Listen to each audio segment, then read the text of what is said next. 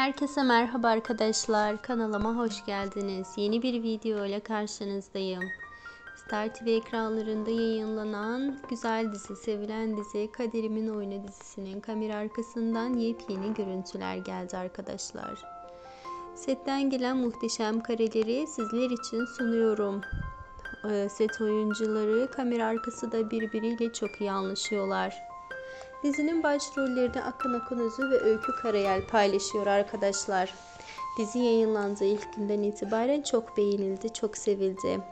Umarım sizler de hazırladığım bu videomu beğenirsiniz. Şimdilik benden bu kadar. Yeni haberlerle yine sizlerle olacağım. Videomu beğenmeyi, kanalıma abone olup desteklemeyi unutmayın. Hoşçakalın.